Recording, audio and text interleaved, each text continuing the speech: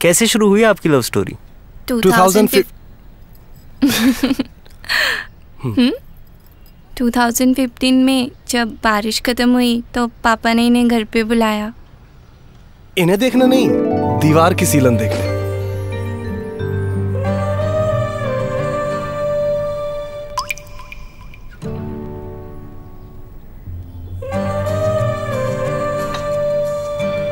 ना दीवार की सीलन खत्म हुई